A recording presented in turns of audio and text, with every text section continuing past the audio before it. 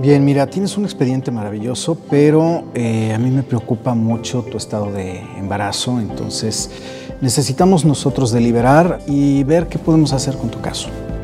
La discriminación por embarazo está prohibida. La norma mexicana en igualdad laboral y no discriminación busca prevenir que a las mujeres se les resten oportunidades de desarrollo. Con la inclusión, ganamos como país. Secretaría de Gobernación, CONAPRED.